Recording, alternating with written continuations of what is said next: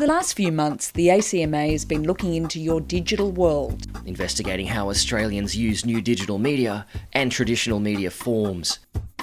While we see that Australians are embracing the online world, traditional media still has an important role, including shaping what Australians expect online. An entire generation now exists that does not know the world before the internet.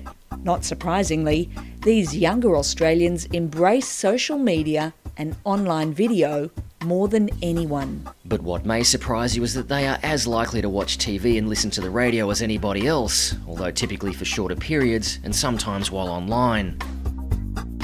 In fact, TV and radio still constitute the majority of media usage in Australia. Even though more people now get news online than from a newspaper, TV news still constitutes the biggest news supplier to the Australian public. This mix of old and new has some interesting effects.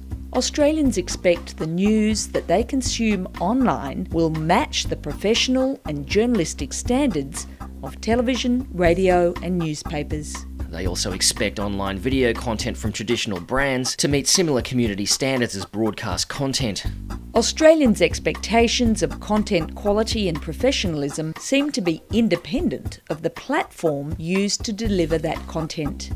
And while we are generally happy about the content on television, we're aware that content on the internet is not as fully regulated as older media, and we aren't sure how this can be done.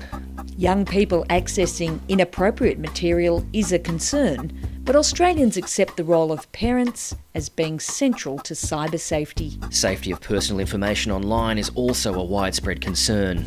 The consensus seems to be that a mix of regulatory approaches will be required.